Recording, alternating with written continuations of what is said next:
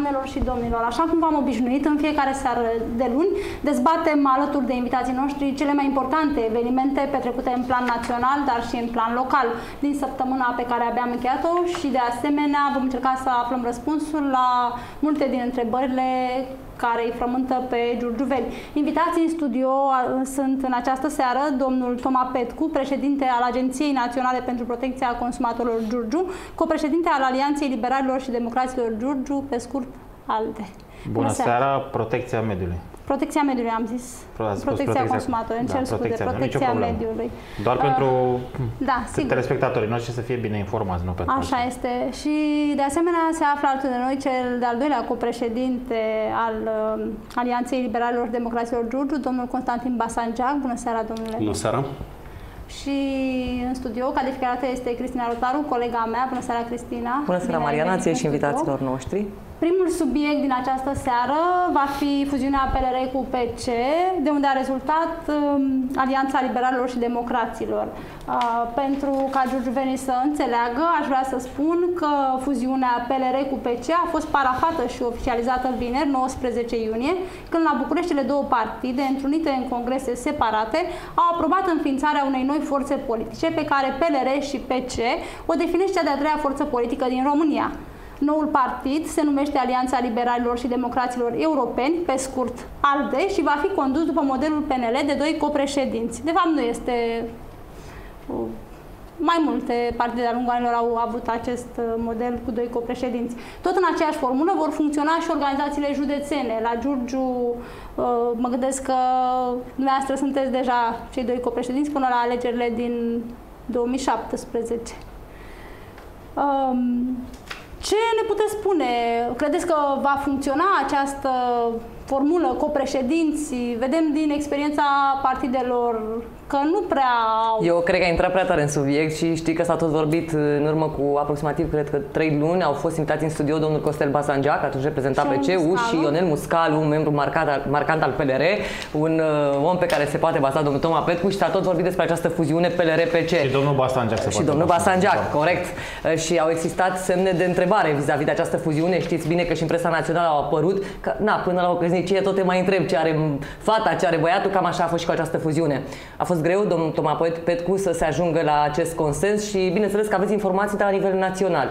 Da, uh, pot să spun că n-a fost foarte ușor. În mod sigur a fost greu pentru că dincolo de dorința noastră internă și de realitatea politică care impunea o asemenea fuziune, o asemenea formațiune politică puternică, în primul rând o formațiune puternică liberală, așa cum are nevoie România, pentru că practic în România, liberalismul a, a dispărut odată cu trecerea Partidului Național Liberal la familia populară europeni.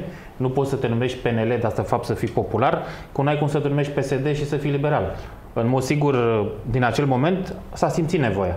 Domnul Tăricianu a avut curajul și a asumat, a făcut PLR-ul, dar pentru a fi cât mai puternici, cât mai pregnanți, pregnanți și cât mai vizibil, am avut nevoie de această fuziune. A fost foarte greu pentru că pe lângă ambițiile și orgolile interne, normale, inerente, au fost uh, foarte mulți factori externi care nu și-au dorit acest lucru și care au avut grijă prin mass media sau prin alte acțiuni să îndepărteze, să zicem, cele două formațiuni de posibilitatea de a se reza această fuziune. Dar, repet, prin primul rând, prin uh, echilibru și dorința celor doi copreședinți la nivel național, Călim Popescu Tăricianu și Daniel Constantin, am reușit să realizăm această fuziune. Am avut două echipe, câte 9 persoane, care au negociat la nivel național și au găsit formule foarte bune și, de asemenea, a contat foarte mult și consensul în filiale. La noi n-a fost nicio problemă încă de prima dată, pentru că eu îl cunosc foarte bine pe domnul Basanjac, chiar din perioada 2012, când pot să spun și am spus cu tărie de fiecare dată, au fost parteneri serioși ai PNL-ului, mai ales în campania de la locale pe care am condus-o și în care domnul Basanjac și candidații dumnealui la lista de consilieri, dar și echipa de la municipiu, au fost alături de noi. Îi cunoșteam, sunt oameni serioși, oameni capabili, oameni pe care ne putem baza și cu care vrem să formăm o echipă foarte puternică. Și cred că toate aceste considerente au dus până la urmă la formarea acestui pol liberal puternic în România, ALDE, un nume foarte cunoscut, un nume puternic, care cred că într-adevăr își dorește să fie a treia opțiune politică, dar cred că pe alocuri, în anumite zone, în anumite județe, poate fi și a doua. Și chiar George este un exemplu. Domnul Basangiac, am vorbit cu dumneavoastră de nenumărate ori despre această fuziune, am vorbit și în particular, am vorbit și în emisiune și ați avut încredere mereu. Ce v-a făcut să aveți încredere în această fuziune, văzând că la nivel național mai există și alte uh, fuziuni care funcționează sau nu bine? Dar așa cum spunea domnul Toma Petcu, în Giurgiu se pare că uh, PLR-ul și PC-ul la momentul ăsta ALDE, și o să le mai explicăm telespectatorilor pe parcurs ce înseamnă această denumire până se obișnuiesc, funcționează bine și este chiar al doilea partid, al doilea pol puternic, politic, politic vorbind. Eu când am uh, îmbrățișat ideea, m-am gândit la viața politică din Giurgiu. M-am gândit la Toma Petcu pe care îl știu, m-am gândit la echipa din spatele dumnealui, care acum este echipa noastră. Uh, la nivel național, de asemenea, am considerat că o asemenea fuziune ar face și ar aduce un plus de valoare atât nouă cât și PLR-ului.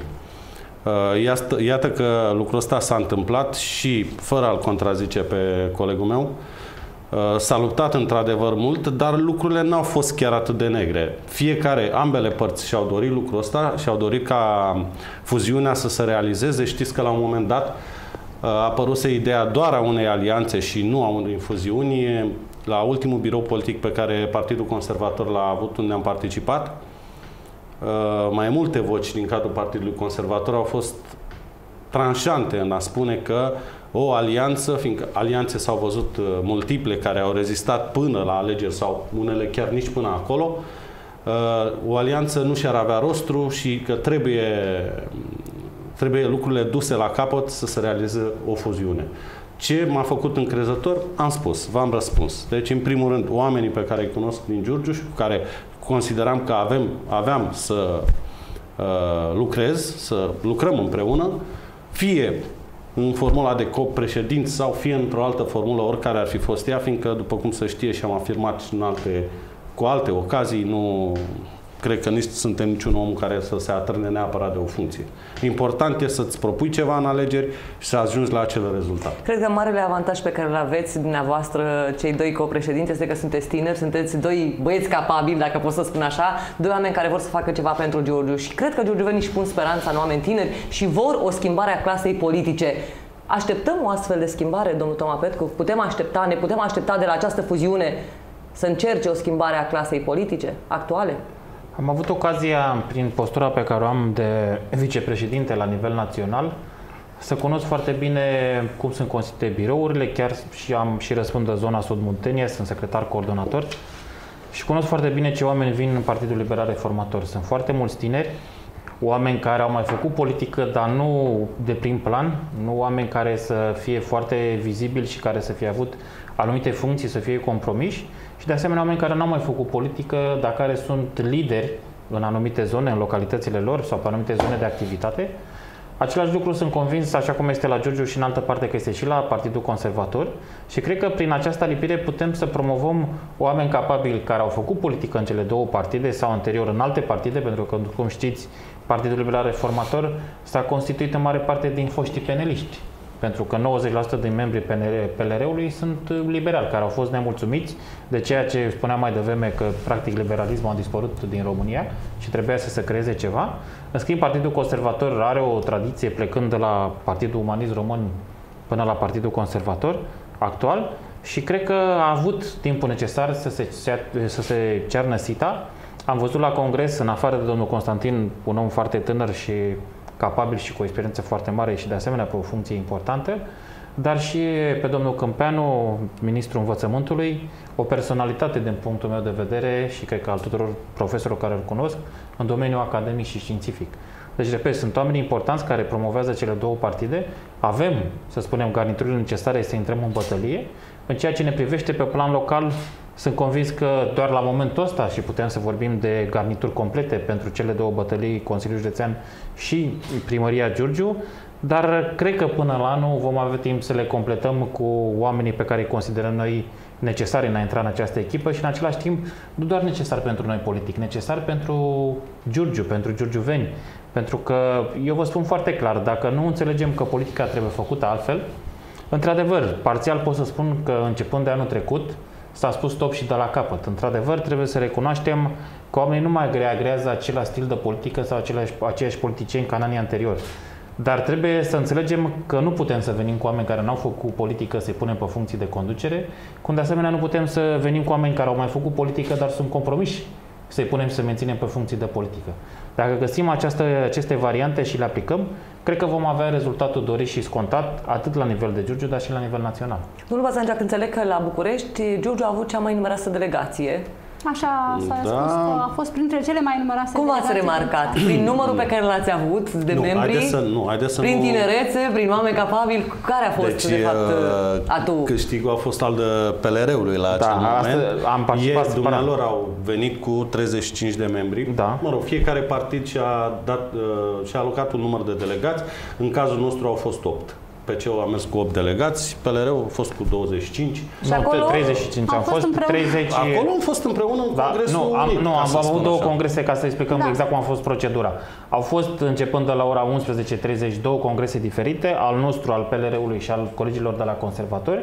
Și ulterior, la ora 13, s-a intrat în congres comun prin care s-a, S-a semnat adoptat o protocolul de rezoluție. fuziune, s-a citit statutul, s-a adoptat o rezoluție, s-a votat și așa mai departe. Noi la congresul nostru am avut delegați 30 aleși de către birou și de către delegația permanentă, 5 de drept și de asemenea pot să spun că într-adevăr am avut cea mai numeroasă delegație și cea mai completă pentru că repet, avem o organizație puternică, oameni care au dorit să participe la acest congres și am avut și norma de reprezentant adecvată să putem să-i luăm pe toți cei care și-au dorit să facă parte din această delegație a noastră. Oricum, pozele pe care le-am, le-am văzut noi au demonstrat că acolo s-au întâmplat lucruri frumoase. Am văzut și la dumneavoastră pe pagina de socializare și la dumneavoastră că aveți o nouă pagină, Așa se este. numește ALDE, Avem împreună, Giurgiu este pagina ALDE. noastră. Aveți împreună o pagină, deci acolo s-au întâmplat lucruri frumoase. Mariana. Eu chiar îmi doresc ca să existe această unitate și de acum înainte să nu mai vorbim despre PLR sau Nu se- despre dar nu se mai PC. poate.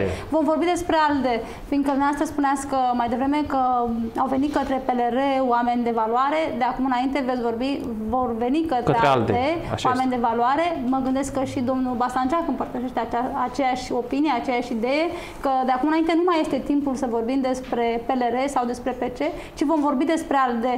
Mă gândesc că așa este normal. Fiecare dintre noi sunt convins, uh, am avut chiar înainte de acest congres câteva discuții cu domnul Toma Petcu, știind sau mai bine zis presupunând că se va ajunge la această fuziune și din discuțiile avute este clar că în ceea ce ne privește nu cred că vor exista disensiuni între noi doi și chiar în felul ăsta vrem să potolim pe unii care deja au început să speculeze diverse chestiuni pe această temă. Uh, Cei care mă cunosc pe mine și cred că și pe domnul Toma Petcu știu un lucru, că dacă ne propunem un lucru, vrem să îl atingem. Important pentru noi, la acest moment, importante sunt alegerile din uh, anul următor. Ce se va întâmpla după aceea rămâne ca, probabil, uh, o conferință județeană să aleagă să vedem ce se va Asta în întâmpla. Unitate care va fi Da, drumul mai bineînțeles, departe, în rămâne 2017. după. Da, da, da. Deci chiar nu ne facem probleme din, uh, din punctul ăsta de vedere. Avem un singur scop bine definit. Alegerile. Alegerile din 2016. Poate ar reuși să aveți un exemplu și pentru alte partide Nu, care întâmplător. înseamnă fuziune, de fapt, să le demonstrați Nu ne că dorim se să poate fim să exemplu lucrezi și în... pentru alții, neapărat în privința asta, ne tandem. dorim, să, Doamnă. ne dorim să reușim noi. Îmi ceea cer ce scuze ne că îl întreb propus. pe domnul Bastangeac, dar acum s-ar putea alții să spună, domnule, noi suntem partide mari, nu suntem la nivelul PC-ului și al PLR-ului, că am văzut la un moment dat un comentariu răutăcios al domnului Ștefan Gheorghe, pe care nu l-am înțeles, compara PLR-ul cu PNL-ul, dar domnul Ștefan ar fi trebuit să extragă din, P, din PNL, să extragă partea de PDL și să vadă câți consilieri locali și județeni are dumnealui și câți primari. Și se compară cu câți avem noi la PLR și s-ar putea să-i dea cu minus. Atâta vreau să spun. N-am avut o reacție atunci că am considerat nepoliticos să intru în dialog de genul ăsta cu dumnealui, mai ales că era nepregătit. Mai are timp să se pregătească, să învețe județul și ce componență are fiecare partid în parte. Dar uh, eu vă spun foarte clar, uh, lăsăm orgoliul la o parte pentru că trebuie să avem scopuri bine definite. Dacă ne certăm politic care este șef sau care nu este șef și de fapt nu observăm care sunt prioritățile și obiectivele noastre ca oameni politici, dar în același timp cele partidelor care ne-au, trec- ne-au girat și ne-au trecut în fruntea lor, trebuie la un moment dat să facem un pas înapoi. Și trebuie să trecem dincolo de aceste, nu știu, orgolii personale de a fi conducător sau de a fi candidat la ceva sau a nu fi candidat la ceva. Ce este cel mai important să găsim cele mai bune soluții, să le propunem cetățenilor, să le dezbatem, să le susținem. Mie îmi pare rău că la ora actuală din politica giurgiuveană lipsește foarte mult dezbaterea. Dezbaterea publică în care oameni din partide diferite să vină cu soluții tehnice pe Domnul masă. Toma, îmi cer scuze, vă întreb, a spus să găsim soluții. Ați găsit soluții pentru câteva proiecte pe care dumneavoastră le aveți. Ați găsit soluții și acum să faceți această fuziune la nivel național, dar și dumneavoastră, uh, așa cum uh, prezentați, uh, spunea domnul Bazangea că există oameni răutăcioși care vorbesc negativ la adresa acestei fuziuni. E bine, lucrurile nu stau chiar așa, pentru că și noi vă cunoaștem personal și știm că sunteți oameni de calitate. Dezbateri, vorbeați despre dezbateri. Ați încercat în ultima perioadă, și aici mă refer la PLR, să aveți tot felul de întâlniri și v-ați axat foarte mult pe mediu, poate pentru că dumneavoastră și acolo lucrați. Corect. Răspund oamenii la astfel de dezbateri, vor să fie aproape, vin? Să știți că da. Să știți că da, pentru că ne facem dezbateri pe mediu, dar cât de curând o să vedeți câteva teme importante pe care ALDE o să le propună și o să le dezbată politic și administrativ uh, și în alte domenii, cum ar fi transporturi, economie, agricultură, mediul de afaceri. Spun lucrurile astea pentru că suntem un partid liberal, un partid care promovează dezvoltarea economică și în același timp bunăstarea persoanei în parte. Uh, oamenii sunt interesați și așteaptă și ei să vadă ce soluții găsim noi, cei care avem anumite funcții în administrația locală sau centrală, ce soluții avem pentru a le fi mai bine. Pentru că, din păcate, vorbim de foarte mult timp de strategii, de proiecte pe hârtie, de soluții pe care aștept să, așteptăm să le implementăm, dar de fapt nu le implementăm. Oamenii puțin au obosit în această rutină și în acest mecanism de a ne contrazice sau de a pune pe masă lucruri care nu sunt fezabile sau care nu se pot aplica pentru noi, pentru zona noastră. Lucruri care doar le spunem la început, le demarăm și pe urmă ne oprim. Oamenii așteaptă ceva concret, ceva care să impulsioneze și în care să le dea o rază de speranță. Pentru că, din păcate, criza economică care a început în 2008 și încă nu s-a sfârșit și vedem ce se întâmplă în Grecia, a apăsat foarte mult pe zona noastră, pentru că Giurgiu a plecat din start, între ghilimele, cu un handicap. A fost un oraș, un județ subdezvoltat, care n-a reușit să performeze nici pe perioadă de creștere economică și n-am reușit să atragem în acea perioadă foarte mulți investitori și atunci când poate ne dorim acest lucru în această perioadă, este foarte greu să o facem, ne găsim cele mai bune soluții și cele mai bune opțiuni. Din păcate spun lucrurile astea pentru că observ pe fiecare zi ce trece că orașul, chiar dacă lucrez în București și am posibilitatea să locuiesc acolo, fac naveta, că înseamnă 10-11 seara sau rare ori 9, vin în oraș și am timpul necesar, o jumătate de oră până ajung acasă, să-l privesc așa cum arată Giurgiu. Și seara și dimineața când plec și sâmbătă și duminica. Sunteți mulțumiți? Nu sunt mulțumit deloc și vă spun foarte clar. Aici este responsabilitatea întregului mediu politic, responsabilitatea noastră a tuturor să găsim cele mai bune soluții, pentru că Așa cum spuneam mai devreme, doar strategiile pe care le facem la simpozioane și la mese festive nu sunt necesare. Domnul Trebuie Toma, să o să vă cer permisiunea să vă întrerup puțin pentru că aș vrea să întreb pe Bazangea, v-am ascultat cu atenție, o să mai vorbim puțin despre Sigur. ALDE și apoi vorbim și despre problemele comunității, despre politică și despre subiecte care ne interesează pe noi și pe giurgiuveni. Vreau să întreb pe domnul Bazangea, vorbeați dumneavoastră de oamenii au nevoie de lucruri convingătoare, au nevoie de speranță. Oferă ALDE, chiar dacă este de vreme să vă adresați această întrebare, oferă ALDE prin statutul pe care îl are, prin planurile și proiectele pe care le aveți, giurgiuvenilor, ne raportăm la ei, stabilitate, speranță. Speranța, știți că este... Bine, ea nu se poate măsura și moare ultima. Nu, moare ultima și la urma urmei mulți autori au tratat-o ca uh, cea mai nefastă, cea mai nef- cel mai nefast sentiment, să spun așa.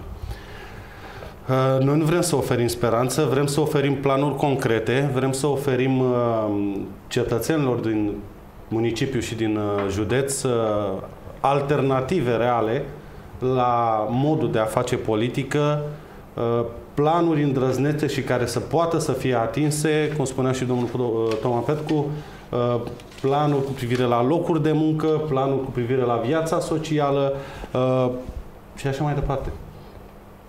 Spuneați că la înființare că noua formațiune politică va reprezenta clasa de mijloc întreprinzătorii, profesiile liberale, pe cei care lucrează în serviciu public în economie, partidul va apăra și va promova drepturile și libertățile individului. Era nevoie de un asemenea partid, uh, clasa de mijloc nu mai era reprezentată în niciun fel de actuala actuale partide de pe șicherul politic, chiar și cel local? ALDE va reprezenta în mod special clasa de mijloc, dar nu numai. Pentru că elitele în general să știu că sunt în partea superioară, în, sunt în uh, zona de liberali și de asemenea cred că atunci când am avut posibilitatea și pe perioada guvernării lui Tăricianu, dar și în acest uh, mandat de când suntem la împreună cu partenerii noștri la guvernare, am dovedit prin miniștrii care avem în uh, guvern că promovăm și măsuri sociale. Dar, într-adevăr, ne adresăm clasei de mijloc pentru că este cea mai importantă și cea mai vulnerabilă. Este vulnerabilă pentru că din pătura de mijloc nimeni nu o să mai poate să promoveze, așa cum sunt lucrurile la ora actuală, în pătura superioară. Ce este cel mai grav este să cobor din pătura de mijloc în cea inferioară și să ne trezim la un moment dat că depășește pătura clasa inferioară, clasa cea mai săracă, depășește și pătura de mijloc. Și în acel moment avem o problemă per total în România.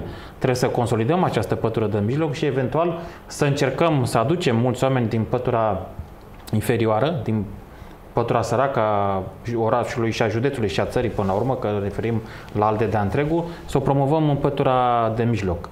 Este cea mai importantă clasă, nu neapărat pentru că este numeroasă și ar putea să spună cineva, domnule, vă interesează politic. Nu. Ne interesează pentru că este cea mai numeroasă și poate să fie și vulnerabilă și în același timp să vulnerabilizeze România. Dacă pătura de mijloc nu este dezvoltată și nu este constată, constantă, nici noi nu o să avem dezvoltare și o economie puternică. Trebuie să dezvoltăm Nu este mai pătura ușor de mijloc. să avem o pătură inferioară, adică mai mulți oameni săraci, să-i conducem mai ușor? Doamna, aceste, aceste filozofii cred că au trecut undeva de prin anii, hai să spun, maxim 95-2000. Cred că nu mai este cazul, pentru că chiar dacă noi am încercat să însărăcim foarte mult oamenii, nu înseamnă că ar fi sunt proști. Nu. Cine nu, gândește nu așa, asta mă refeream. Mă referam că dacă așa, oamenii sunt mai săraci, primind nu, ajutoare sociale, nu, nu, nu. Pe asta, mai asta, asta, de la asta se reduce. Nu, nu. nu. este vorba de oameni mai Domnul au de dumneavoastră muncă, aveți nu în mai plan au... prin ALDE Dacă să reduceți permiteți. numărul persoanelor. Din da? pătura săracă. Asta aveți în Asta plan, e dar clar. aceste persoane există la momentul, momentul ăsta, iar colega mea se referea la, referea la manipularea de mase. Este Nu, am foarte înțeles. ușor să-i manipulezi pe oamenii uh, care vin din această pătură inferioară de care vorbeați dumneavoastră. Mie îmi place să cred că Giurgiu nu are atât de mulți oameni săraci, dar are, așa Are, ne dar nu spun înseamnă ușor statisticile. de manipulat, nu sunt Am oameni înțeles, slabi. da, pentru că dumneavoastră repet, ați spus, uitați-vă ați la făcut o ultimele remarcă la alegeri. începutul emisiunii și ați spus pe oameni nu-i mai păcălești. Oamenii Da, vor exact. o altă clasă politică. Exact. Faptul că sunt săraci, asta nu înseamnă că sunt proști. Exact. Oamenii nu sunt proști. Asta Mulți spun și pe eu. fondul problemelor pe care le au, nu știu, lupta pentru supraviețuire, nu mai au timp să se uite bine la politicianul uh, X sau Y care vine la televizor să spună, domnule, am un program. Omul spune, nu mai mă interesează politica, m-am săturat de minciună. Cum facem să determinăm pe oameni Vreți să să vă spun cum înțeleagă facem? că nu toți O politicienii să vă răspund, Minți doamna sau- Rotaru. Vă rog. Haideți să vă spun. Știți care este soluția pe care eu personal o văd și o să eu am implementat-o și în perioada în care am condus PNL-ul și am fost în PNL și de asemenea o să o implementez și aici, împreună cu, mă rog, colegii, de fapt, nu mai putem să spunem altfel, colegii din ALDE. Contactul direct cu cetățeanul, cu omul. Dacă avem capacitatea de a munci atât de mult încât să reușim să intrăm în contact cu cât mai mulți oameni, din toate păturile sociale, dar în special cu cei din mijloc și pătura săracă, cred că vom reuși să-i convingem că avem soluții, variante și oportunități. Important este dacă poți să le aplici. Pentru că pot să am și eu soluții. Poate să aibă și domnul Basangeac, poate să aibă oricine. Dacă n-ai pârghile necesare să le aplici, nu o să reușești să le aplici niciodată. Dacă intri în contact cu cetățeanul, te duci acolo jos la firul ierbii, cum s-ar spune, sau la scara de bloc sau la poarta de la intrare în curte și apuci să vorbești cu el, eu vă spun că impactul contează foarte mult. Omul are nevoie să comunice cu cineva, chiar și tinerii. Vă spun, în ultima perioadă mă axez foarte mult pe atragerea de foarte mulți tineri în cadrul partidului nostru. Tineri care au mai făcut politică în alte partide, nu contează, PNL, PSD, sau tineri care n-au mai făcut politică, pe care încerc să-i cooptez să creez o echipă de tineret cât mai puternică. Ei, în general, sunt ezitanți la a comunica. Sunt foarte mult obișnuiți să stea pe Facebook, pe internet, la televizor și foarte mult închiși în, în casă. Dar dacă cineva îi scoate și îi provoacă, am făcut această chestie cu Ionel Muscalu de mai multe ori, că se pricepe și el la lucrul ăsta. Ați trecut prin etapa asta. Am trecut prin etapa asta și o Și cunoaște bine dumneavoastră, și eu. tocmai și dumneavoastră, și domnul domnul Pasager Pasager. și Ionel Muscalu. Și am Ați făcut... luat-o de la lipitul afișelor Exact, și exact. iată că astăzi și ați ajuns. practic i-am, i-am stârnit și am început să-i vedem. Mi-am dat seama că inclusiv tinerii pe care mulți îi consideră, doamne, nu mai ai nicio șansă să comunici cu ei decât prin internet. Nu e adevărat. Contează internetul, contează Facebook-ul, dar contează foarte mult contactul direct. Acest contact direct contează mult și la pătura Contează săracă cel și mai plăcere. mult. Vorbim Cel de mai bibliotecă vie, până la urmă le dai Dar nu posibilitatea doar să te așa poate să citească. te cunoască Da. și poate să spună o părere despre tine, Corect. nu, despre, nu din postările de pe Facebook sau Important, atunci când important îl să iei te de duci mână la și el discuți cu, cu el. cu un om credibil pe care poate să-l cunoască de la televizor, de mass media sau poate care a lucrat cu el. Eu personal, prin activitățile mele, cred că am reușit în 10 ani de zile să cunosc mii de oameni în Giurgiu. Și când am fost director în privat și când am fost la stat și alte funcții care le-am deținut, am intrat în contact cu mii de oameni. În politică am intrat în contact cu alte mii de oameni. Dacă mă cunosc și au o părere bună despre mine și vin și vorbesc ceva frumos despre domnul Basanjac, mă cred. Dacă au o părere proastă despre mine și recomand pe domnul Basanjac, nu mă cred, chiar dacă el este de bună credință și intră în contact cu ei. Important este cum ajungem să vorbim cu ei, cine îl prezintă, ce spune despre persoana respectivă și ce soluții le oferi. Dacă ei, în primul rând, trebuie să vorbești pe înțelesul lor, să le spui foarte clar și specific ce vrei să faci, astfel încât să înțeleagă strategia ta și să creadă în tine, să creadă în ea, că este reală, este fezabilă, nu vorbim de fantasmagorii sau de strategii care poate nu le înțelegem nici noi. Cred că mai avem, de lucruri mai, realizabile, realizabile, de lucruri care se mai, pot da, face. Adică să evităm să le vorbim în limba engleză despre studii de fezabilitate.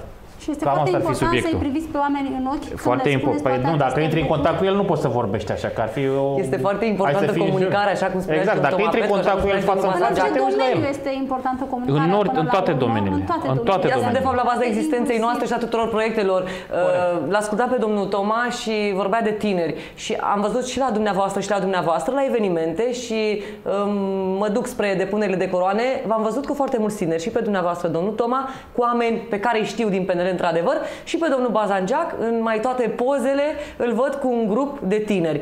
Este un lucru bun. Ei încep să creadă în dumneavoastră, dar oare îi înțelegeți mai bine pentru faptul că sunteți tineri? Poate fi una din calități, dar nu neapărat singura. Sper să pot să înțeleg mai bine pentru că chiar dacă pot să spun că la vârsta care am ajuns la un nivel de performanță, n-am uitat cum, în ce fel, prin ce etape am parcurs și care sunt cele mai bune soluții. Și din experiența mea pot să le împărtășesc și lor, să le explic, să am stat și sâmbătă și duminică ore întregi de vorbă cu două grupuri, ar câte 20 de tineri și le-am explicat multe lucruri despre cum am început, ce am făcut, ce n-am făcut, unde am greșit, ce ar trebui să facă și ei, cum n-ar trebui să greșească. Practic să încerc să fii un bun sfătuitor pentru cu ei și să fii prieten. Într-adevăr, pot să spun că mă ajută foarte mult și vârsta și poate lucrul ăsta le transmite o mare încredere. Dar ce este cel mai important, să le dai și lor acea speranță că... Și am văzut dornici de un lucru foarte important, care contează și pentru mine și mi l-am dorit. Să rămână în Giurgiu. Știți cât contează pentru acești tineri să le oferă o perspectivă, perspectivă să rămână în orașul ăsta? Să rămână în județul ăsta, dar în special în oraș, că vorbim de tineri din oraș ei își doresc să rămână aici. Cu așa cum și eu mi-am dorit când am ieșit de pe băncile facultății să rămân în Giurgiu și m-am încăpățânat să mă întorc aici și am plecat cu toate că eram pe, aveam o facultate de studii superioare, m-am angajat pe o funcție de studii medii și am promovat ulterior, același lucru le explic și lor. Important este să se înceapă de undeva. Au nevoie de un sprijin, dar important să-și asume ceva. Mic la început, poate pe care nu este pe măsura pregătirii și a capacităților, dar important să înceapă undeva, să-și asume ceva o perspectivă, adică mă gândesc... Trebuie să ne ofere și putem să dezbatem mult aici. Nu, la momentul ăsta categoric nu, pentru că dumneavoastră ați început puțin mai devreme să vorbiți despre Giurgiu și despre ceea ce nu oferă Giurgiu. Și așa o să vreau să continuați în același ritm.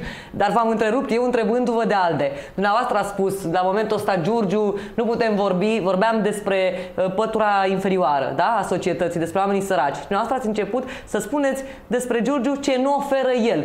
Dar nu v-am lăsat eu să terminați subiectul și acum o să reluăm. Colega mea v-a întrebat dacă Giurgiu oferă. oferă oportunități, variante și soluții pentru tineri, cum ați spus dumneavoastră. Le oferă La momentul actual. La momentul actual este clar că nu se oferă. Deci vedem, trăim fiecare în Giurgiu. Luați copiii care termină clasa a 12 și veți vedea că nu prea au posibilități de angajare. Ce să mai vorbesc de cei cu studii superioare. Lipsesc multe în Giurgiu. Cum am spus de la început, pe lângă locurile de muncă, lipsesc și chiar oportunitățile de a-și întemeia o afacere proprie. Știm că puterea de cumpărare a giurgiuvenilor este mică și apoi afacere proprie nu înseamnă numai comerț. Bineînțeles că este loc pentru toată lumea și, cum mulți au văzut, cine s-a apucat de ceva a reușit. Asta este important ca și ei, poate și cu ajutorul nostru și al altora, să se apuce de ceva. Vom lua o scurtă pauză de publicitate. O să-l rog pe domnul Toma Petcu după aceea să ne spună și dumnealui ce oportunități au tinerii. O pauză Sigur. de publicitate și revenim în câteva minute.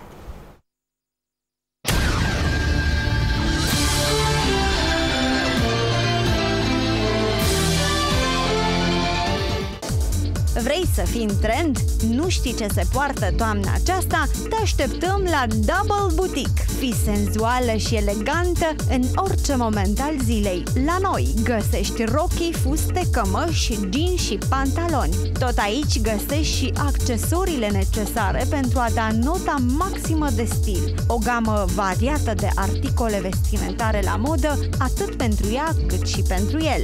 Double Boutique, pe strada Gării, la numărul 33. Periculos? Amorțelile, cârceii, furnicăturile pot fi date de deficitul de calciu care pe termen lung poate duce la decalcifierea oaselor sau chiar osteoporoză la vârste mai înaintate. Artrocalcium asigură absorpția crescută a calciului și oase rezistente grație formulei complexe cu hidroxiapatită, sare naturală de calciu care se găsește în mod normal în oase și dinți, alături de încă 3 seruri de calciu, vitamina D și minerale. Artrocalcium, oasele tale pregătite pentru orice provocare. Acesta este un supliment alimentar. Citiți cu atenție prospectul. Bine. Cred că aș putea să... Cum să zic? Aș vrea... Bună ziua, mă numesc Ion și vreau să-mi deschid propria afacere. Îndrăznește să faci primul pas.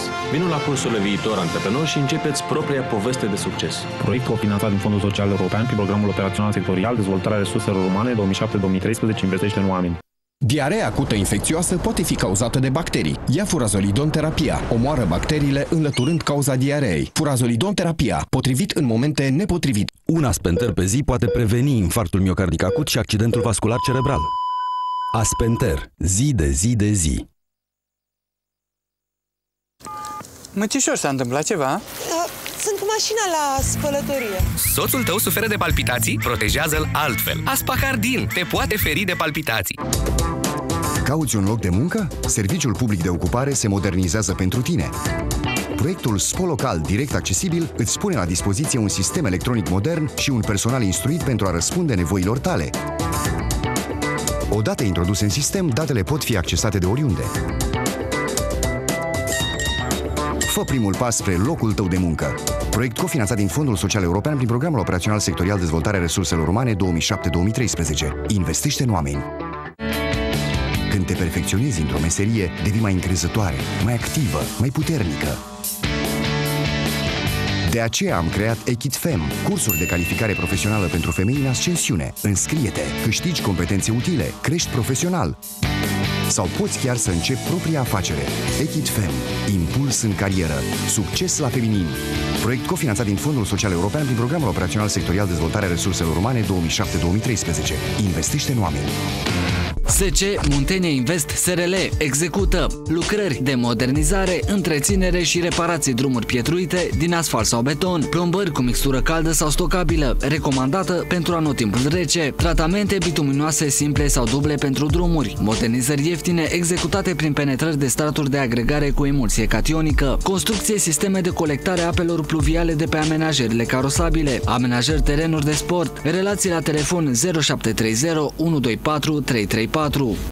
Se spune că mașina este exact ca o femeie, trebuie să ai grijă de ea, să investești în ea și mai ales să știi pe mâna cui o lași atunci când ai probleme cu ea. Așa că te sfătuim să vii la noi Green Service Auto în Giurgiu. Produse ecologice și servicii de calitate. S-a terminat cu mecanicii de mâna a doua. Îți punem la dispoziție profesioniștii de care tu ai nevoie, dar și o gamă largă de accesorii noi și second hand, autorizate. Și ca totul să fie complet, la Green Service găsești tot ceea ce ai nevoie. Servicii efectuate în hală de mecanică, hală de vopsitorie și tinichigerie. Tot noi îți oferim și reparații la instalația electrică și electronică, analiză, diagnoză, climatizare și servicii de vulcanizare auto. Te așteptăm la sediul nostru din strada Vlad Țepeș, numărul 116 118 Giurgiu și la telefon 0732 520 305.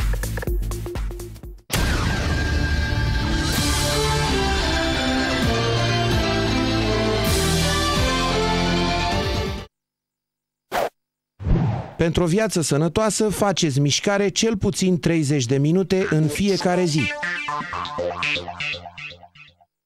Am revenit din nou în direct alături de invitații mei din această seară, domnul Constantin Basangeac și domnul Toma Petcu. Uh, am vorbit până acum despre noul partid care s-a născut din fuziunea PLR cu PC, care se numește Alianța Liberalilor și Democraților Europeni. Vom vorbi despre ALDE și pe parcursul acestei emisiuni mai mult, astfel încât giurgiuvenii să știe ce înseamnă ALDE, să nu fie induși în eroare sau să creadă că înseamnă altceva.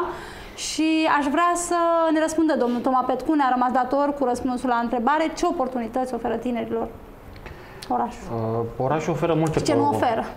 Oferă multe oportunități, nu numai tinerilor, ci tuturor cetățenilor din Giurgiu în general. Din păcate, ele nu au fost folosite și exploatate până acum. Vorbim de foarte mult timp despre o strategie de dezvoltare a Dunării și a portului. Am 10 ani de zile experiență, 5 ani în privat, 5 ani la stat, în domeniul naval și în domeniul transportului pe Dunăre. Din păcate, de fiecare dată s-au vorbit de strategii nefezabile, de lucruri care nu pot fi realizabile și lucruri care n-ar fi pretabile pentru Giurgiu. Cred că trebuie să dezvoltăm puternic acest domeniu, să încercăm un parteneriat public-privat în care statul să fie garant pentru acest parteneriat, să dezvoltăm zona de infrastructură portoară, dar ce este la fel de important să înțelegem că Giurgiu este un județ într-o zonă de tranzit, într-o zonă de frontieră, și din păcate n-am de reușit să dezvoltăm parcuri logistice importante, cu excepția zonei libere într-o perioadă bună a zonei libere, mai puțin în această perioadă. Giurgiu n-a reușit să fie o zonă de un nod logistic, pentru că avem CFR cu o mică problemă, dar sperăm că va fi rezolvată cea cu podul de la Grădiștea, dar avem CFR, avem cale navală și rutier foarte bun spre București și, în asemenea, ieșire spre Bulgaria, Grecia și Turcia și cred că aceste lucruri trebuiau fi folosite în special pentru dezvoltarea parcurilor logistice. De asemenea, așa cum am spus, pe partea de navigație și un lucru pe care n-a fost luat în discuție până acum și n-a fost gândit strategic, dacă ne-am uitat foarte bine pe PNDR, Programul Național de Dezvoltare Rurală, cele mai multe proiecte și cele mai mari sume pentru dezvoltare economică, pentru mici fabrici, pentru microferme și pentru zone de agricultură sau pensiuni se dau pentru zonele rurale. Giurgiu, știm foarte bine, este un oraș. Dar toată zona limitrofă Giurgiului, tot ce înseamnă rural de jur împrejurul Giurgiului, plecând de la Zlobozia și închizindu-ne pe Inel până la Oinacu, poate să reprezinte anvelopa de dezvoltare economică care poate fi făcut într-un parteneriat foarte bun între primăria Giurgiu și primăriile din aceste localități. Dacă ne-am pune mintea la contribuție și am încercat să dezvoltăm în toate aceste localități Uh, să spunem, uh, facilități pentru ca anumiți privați să vină să-și dezvolte proiecte pe agricultură, proiecte pe microfabrici, proiecte pe pensiuni turistice și agroturistice, cred că reușim ca toată populația care să știe foarte clar, nu mai voi să dezvolți din punct de vedere al mediului în zonele urbane, ci întotdeauna într-o zonă cât mai îndepărtată de zona locuită. Ceea ce ar fi foarte vezabil pentru zona, așa cum spuneam, mărginașa Giurgiului, dar în uh, intravilanul și extravilanului acelor comune, putem să oferim forța de muncă calificată și pregătită, care probabil în 5 minute de mers cu mașina ar ajunge la locul de muncă. Cred că aceste strategii trebuie să ne le gândim, să le adaptăm la ce există. Dacă stăm și ne gândim că la un moment dat un mare investitor sau o mare oportunitate va pica peste noi, peste Giurgiu, cred că nu. Trebuie să ne limităm la ceea ce putem și ce avem la ora actuală, lucruri mici, concrete, pe care să ne axăm, pe care să le dezvoltăm și să încercăm să atragem investitori cât mai mulți, chiar dacă sunt pe sume foarte mici. Important este ca acești oameni să aibă oportunitate și bună dispoziție a autorităților în general. De ce nu se gândesc că autoritățile locale, vorbeați chiar și de cele din prejurimile municipiului Giurgiu, de ce nu se gândesc să ofere facilități? Nu cunosc sau nu vor sau nu știu despre acest program de național de dezvoltare acum, rurală, foarte puțin se vorbește acum în mediul fi, rural. Nu știu, ar fi foarte greu să vorbesc eu numele lor de ce nu se gândesc. Noi o să-i uh, lansăm în luna următoare o să avem secretarul de stat de la IMM-uri care să vină împreună cu cineva de la agricultură chiar pe partea firului, cei de la fir se ocupă de aceste proiecte, vorbim de directorul general ajung, să ne prezinte aceste oportunități. Încercăm să facem o ședință cu toți primarii la nivelul Consiliului Județean, astfel încât, în parteneriat, bineînțeles, cu Prefectura Giurgiu, astfel încât să prezentăm aceste oportunități tuturor primarilor în general, dar în mod special și pentru zona limitrofă Giurgiului. Pentru că, repet, noi avem posibilitățile să oferim conducta de gaze, poate fi extinsă oriunde, pentru că ea vine practic pe marginea orașului și în extravilan și foarte aproape de aceste comune. Avem posibilitatea să oferim uh, canalizare. Sper că într-un final să se închidă și linia de centură și să avem facilități la margine, la limita orașului și să atragem acești investitori în aceste zone. Sper ca conștientizarea primarilor să fie una foarte importantă și să se implice în aceste proiecte, să încurajeze mediul de afaceri și dezvoltarea pe fiecare zonă. A scris undeva aceste proiecte, domnul Toma, ca nu cumva să asculte altcineva și să vă fure patentul Nu, acestor nu, nu, nu, proiecte, fiindcă să- oportunități, nu, nu. soluții, Hai variante. să vă spun, nu m-ar Astea au deranja fost- să le fure. M-aș bucura foarte mult să fure aceste proiecte și să le realizeze, nu contează când, acum dacă se poate. M-ar bucura foarte mult, n-ar conta că a plecat de la ideea mea și o aplică altcineva, ci este cel mai important să o aplicăm. Domnul Basangeacă, am avut săptămâna trecută invitați în emisiune pe consilierul local Ionel Dinu și consilierul local Marian Măroiu. Uh, Zicem noi că a fost o emisiune tensionată, ca de altfel toate emisiunile când îl avem invitat pe domnul Ionel Dinu, dar recunosc Să că nu este luați un, amendă, aveți un om pe care îl respectăm. Da, din păcate s-a întâmplat și la noi pe plan local ca Avem o altă grijă, vom televiziune avea locală să grijă. ia amendă, Totdeauna. dar până la urmă ne asumăm. Am vorbit despre, vorbea domnul Dinu despre o posibilă întâlnire a tuturor politicienilor, o dezbatere uh, pentru a expune acolo problemele pe care Giurgiu le are, să vorbească despre investitori, să vorbim despre uh, social, economic, politic, ce vreți dumneavoastră. Se va realiza vreodată acest moment? Domnul Toma, domnul Basangeac, credeți că vor răspunde politicienii? Să zicem că lansați uh, dumneavoastră, ALDE, lansează o invitație către toți politicienii. Vom vedea vreodată la o masă rotundă, o masă verde sau depinde cum vreți dumneavoastră, toți politicienii? Ar Știți fi ce? Eu lucrul vă răspund ideal. scurt și îl las pe domnul Bastangeac dacă vrea să detalieze. Acești politicieni pot fugi de invitațiile altor oameni politici sau de invitațiile pe care le faceți dumneavoastră ca și mass media. Dar nu pot fugi de electorat și de populație. Consider că ar fi o gravă greșeală să fugă de la aceste dezbateri. Pentru că lucrurile deja se află, sunt transparente, dumneavoastră aveți obligația și o să spuneți, noi o să spunem dacă eu o să fugă de la aceste dezbateri și cred că la un moment dat nu poți să fugi de electorat și de dezbaterea publică. Domnul Basangeac, de ce nu răspund politicienii, așa cum a spus domnul Toma, invitațiilor noastre de a participa la emisiune, cu toate că noi invităm și după ne atrag atenția să vorbim de mine în emisiune. Nu ne vorbim despre oameni care reprezintă Giurgiu, vorbim despre politicieni, despre oameni care ne conduc destinele noastre ale giurgiuvenilor. N-am cum să vorbesc despre tanti Maria care mătură pe scară, deși jos pălăria în fața acelui om, uh, decât că trebuie să vorbesc despre directorul unui spital, despre uh, directorul unei instituții, despre un președinte de Consiliu Județean, că unul avem, despre un primar, că unul avem, deși avem mai mulți posibili candidați. De ce Vedeți, nu răspund dumneavoastră- invitațiilor și de ce nu răspund invitații unei N-aș putea dezbateri să, politice? să răspund eu în locul dumnealor de ce nu răspund invitațiilor, de ce nu vin în emisiunile dumneavoastră, de ce refuză dezbateri eh, publice, ca să spun așa, cu toți la o masă. Uh, ideea domnului Dinu, pot să spun că am adus-o și eu în discuție, dacă nu mă înșel, chiar la prima emisiune când am fost invitat de către dumneavoastră aici, uh, când spuneam că politicienii se întâlnesc foarte bine și am văzut dese cazuri când se întâlnesc la petreceri sau în alte părți și își dau mâna ușor, sunt joviali, Socializează da, prieteni, ăsta foarte mi-aduce chiar. aminte de ceva anume și mă bunește râsul. Socializează, însă când e vorba de a-și expune ideile, când e vorba de a susține propriile idei sau când urmează să răspundă întrebărilor dumneavoastră, probabil că nu se mai simt așa de lejer.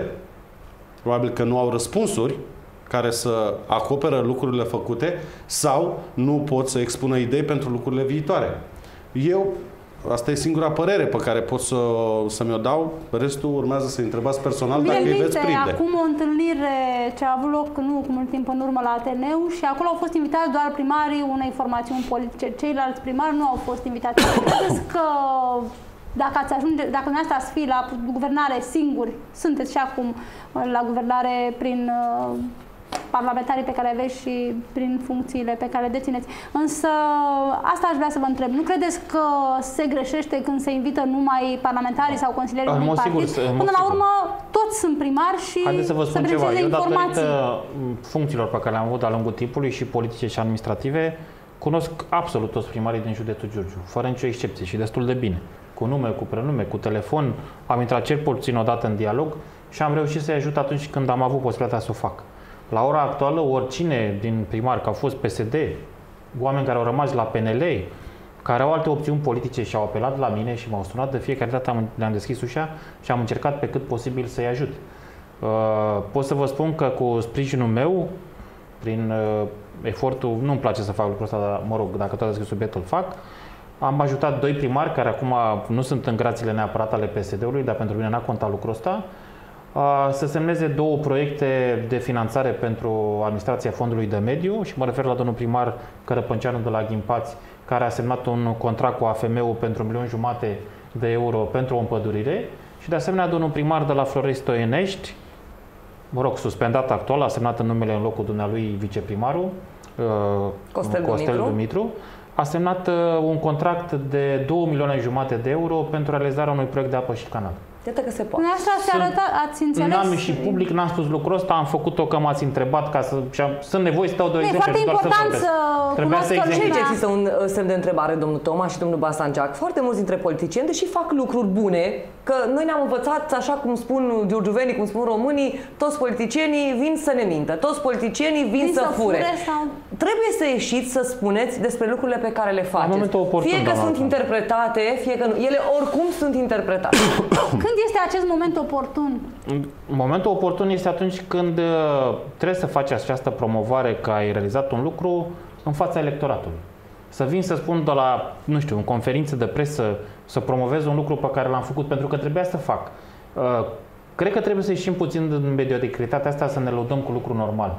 Trebuie să ne lăudăm cu lucruri pe care venim în plus, pe care le adăugăm și pe care le facem suplimentar. Aceste lucruri sunt cele mai importante care contează și pe care noi trebuie să ne axăm foarte mult. Nu este vorba- Normalitatea e normalitate. E un lucru care e firesc să se întâmple. Dar, repet, eu consider că trebuie să ne facem, uh, mă rog, promovarea unor acțiuni sau unor sprijine care le dăm la momentul oportun. Promovare de dragul promovării, cred că o văd puțin și ineficientă și cred că în același timp... și cum nu de e- asta se face promovare, domnul Și nu Toma? este Toate vorba, partidele nu este politice vorba își de fac laudă. Eu mă promovare. gândesc că până la urmă sunt primari care ar dori să Sigur, apeleze la vor- dumneavoastră, vorbim de patru- însă gândindu-se că dumneavoastră sunteți la ALDE Nu, nu, nu, acum, nu. Mă sună, au nu, nu, nu, cum, sunt în fiindcă contact cu ei, nu, nu. sunt- Vă Deci de asigur asta eu, mă nu, nu, gândesc. nu, sunt în Ei, contact cu dacă toți, vă- stați liniștită, Văd nu. că îi ajutați pe unii sau pe Vorbim de 4 ceilalți. milioane de euro care au intrat în semnate și care vor intra în județul Diana, Giurgiu. totuși trebuie să nu uiți că Haideți există să fim primari în serioși. județ care nu se leagă absolut de partidul pe care îl reprezintă, Corect. pentru Și că de ei- noi persoana știm care au încredere. că ei s-au mutat la uh, partide în funcție de banii pe care Corect. Și de persoana au care, primit să primească și pentru persoana care a calitate. ajutat, care au primit, care, mă rog, în afară de asta, sunt foarte mulți primari care le-am dat consultanță, care le-am deschis o ușă la Ministerul Mediului, acolo unde au avut nevoie. Mă rog, în orice alt domeniu, nu s-a pus problema. La mine orice primar care mă sună, ori mă întâlnesc cu el în oraș, ori dacă nu vine la mine la birou și încerc pe cât posibil să-l sprijin, fără, mă rog, a exista riscul să fiu acuzat vreodată de trafic de influență, influență, ci de un sprijin normal pe care trebuie să-l acordăm noi persoanele. Bine, cu asta nu funcții decideți dumneavoastră, publice. domnul Toma, Da, mă depinde rog, ce s-ar vorbiți putea la procurorii telefon. Să decide la un Decid moment dat, alții, să Doamne decide la un ferește. moment dat că am ajutat un primar și am făcut un trafic de influență. Nu mi-e frică de acest lucru pentru că știu cum am făcut-o, în ce condiții, n-am plătit niciodată absolut nimic, ci am făcut doar pentru județul în care, mă rog, cresc, mă dezvolt Ar și vreau însemna să să nu trăiesc. mai facem politică în Am niciun încercat, fel da, și atunci corect. care ar fi rolul politicienilor? Corect. Sau al uh, Vă spun ceva, secretarilor de stat primarii, și așa mai departe. pre- primarii beneficiază, între ghilimele, de o mare necunoștință a tuturor problemelor. Ei nu cunosc toate problemele, nu cunosc hățișul legislativ și de fiecare dată au un punct de Nu sprijin. cunosc oportunitățile. De asemenea, într-adevăr, nu cu- cunosc oportunitățile și lucrul ăsta este obligația noastră să-l aducem în fața lor. Cred că aceste lucruri trebuie să le facem și mai puțin bătălii politice, dezbatere în care trebuie să arătăm că un partid e mai bun sau mai puțin bun, ci să încercăm să dezvoltăm pe cât putem uh, județul și orașul. Spuneați mai devreme Doamne că ajută. veți promova și veți propune spre dezbatere anumite teme legate de Da. transport, economie, infrastructură. Este Bine, foarte dar important să aibă loc asemenea dezbateri, fiindcă până la urmă asta este și rostul Și politicii. mai am o temă foarte importantă pe care o voi desfășura împreună cu Ministerul Fondurilor Europene, cu domnul secretar de stat Șoneriu, care are în coordonare postul de mediu. Postul de mediu este cel care a finanțat groapa de gunoi și cel care finanțează marele proiect ADI de apă și canal, cel care a fost implementat la nivelul orașului Giurgiu, dar și în alte localități, gen Mihăilești, Bolentin, Vale, Slobozia și așa mai departe. Trebuie să facem neapărat o întâlnire de asemenea cu toți primarii și cu președintele de Consiliu Județean, prefectura, președintele de ADI, să găsim cele mai bune variante să deblocăm aceste situații, pentru că nu putem să mai facem în cale întoarsă de la unele proiecte care le-am demarat. S-a realizat groapa de gunoi, un lucru foarte bun și necesar. Știu foarte bine ce înseamnă acest lucru și ce ar însemna să nu realizăm. Vă spun că noi, Giurgiu, vis-a-vis de implementarea proiectului pe management curat, suntem, cred că fără să exagerez, în primele 10 și știu ce vă spun acest lucru. Mai avem să se realizeze de către ADI și de către primărie doar procedura de licitație pentru colectator și închidem proiectul. Vă dau un exemplu, Galațiu, un județ mare, puternic, în care președintele Consiliului Județean ne spunea cu o noșalanță care pe mine m-a speriat că el nu demarează nimic, că e frică de DNA. și că ei la ora actuală n-au nici terenul pe care să proiecteze viitoarea groapă de gunoi. Deci vorbim de o diferență foarte mare și aici vreau să felicit și conducerile pe care, care le-a avut Consiliul Județean de până acum, dar în mod special executivul și oamenii care au lucrat la aceste proiecte și care și-au asumat cu mult curaj aceste proiecte și care le sunt benefice până da, la urmă. spus foarte bine și-au asumat cu mult curaj? Și cu toate astea cred că și acum se mai gândesc că poate fără corect, voia lor corect. și, au greșit și mă gândesc că ceea ce s-a întâmplat în ultima perioadă cu aceste, mă rog, teleju, cu această telejustiție Probabil că acest lucru blochează până în acest moment demararea procedurii de licitație pentru asigurarea colectatorului în tot județul. Mă gândesc, nu știu, nu, Când nu credeți că se va debloca această situație? Doamnă, de-aia, despre... de-aia și vreau să vin aici cu domnul secretar de la Fonduri Europene, să strângem toți primarii și împreună cu președintele de Consiliul Județean și de ADI, cu prefectura, să conștientizăm acești primari și de asemenea conducerea AD-ului că trebuie să demareze într-un ritm cât mai urgent. Este Din punctul meu de vedere, Consiliului Județean, nu Corect. Așa? Avem aici și un consilier județean care, care cunoaște foarte spune. bine speța. Este interesul Consiliului Județean, dar întregului județ, nu putem să spunem a Consiliului Județean sau unui consilier. Este interesul județului, al orașului. Principala problemă la colectări de, de deșeuri poate, poate, poate să aibă primăria Giurgiu care este cea mai expusă în acest moment și este, până la urmă, colectatorul cel mai mare din, toată, din tot județul. Reprezintă 25-30% din ceea ce se colectează, chiar dacă nu avem decât 25% populație, dar în, în pondere avem peste 30% pentru că suntem mai disciplinați, colectăm mai ușor. Domnul Basantea cunoaște această problemă a depozitului de deșeuri. Acum s-au mai făcut anumiți pași și din câte cunosc, da, mai, așa cum a spus și domnul Toma Petcu, am ajuns la ultimul pas. Deci nu mai trebuie decât să fie licitat uh, am discutat cu mulți primari care erau tentați să iasă din ADI și le-am explicat, domnilor, nu ieșiți, pentru că există un pericol foarte mare. Se poate distruge proiectul, se pot pierde bani. Un pericol Știu care că doi, există... Mă rog, doi dintre ei au ieșit deja. Nu, dar eu sunt convins că reușim să-i convingem să reintre. Să convingeți. Dacă să se dați și nume, poate, nu știu, dacă este, este important. Unul dintre ei frătești, da, în fine. Da. Uh, bine, Frătești întotdeauna a ridicat e probleme. mai bine să nu discutăm asta Corect. decât când se va concretiza. finaliza, concretiza într-un fel sau altul. Domnilor, am vorbit despre ALDE, nu știu dacă sunt convinsă că giurgiuvenii și cei care sunt interesați de politică au înțeles câte ceva, nu știu dacă noi am fost suficient de expliciți, uh, expliciți de... Uh, să le spunem oamenilor că vorbim despre un nou proiect politic, vorbim despre oameni tine, despre oameni care promit, despre oameni capabili, despre un partid care vine puternic din urmă. Eu vreau să vă mai întreb ceva, domnul Toma Petcu. Cu puțin timp în urmă am citit în presa locală la colegii mei că uh, ați făcut o achiziție nouă cu ghilimele de rigoare și mă refer la domnul colonel Tiberiu Demeter, pentru că noi l-am avut în emisiune, nu ne-a spus nici că urmează să iasă la pensie, nu știu dacă a fost o decizie de moment sau gândise de mult acest pas. Apoi am văzut că a intrat în partidul dumneavoastră și, sinceră să fiu, personal mi-a pus un semn de întrebare gândind ce caută domnul colonel Tiberiu Demeter de la Hunedoara, Prislop, la Giurgiu. Pe domnul Demeter îl cunosc încă de când a venit în Giurgiu și a fost un om foarte serios și principial și corect în alegerile din 2012 și am mulțumit de fiecare dată pentru acest lucru, pentru cum, așa cum se știe, jandarmeria asigură organizarea alegerilor, precum și paza tuturor secțiilor de votare, a buletinilor de vot. E o procedură complexă în care sunt implicați.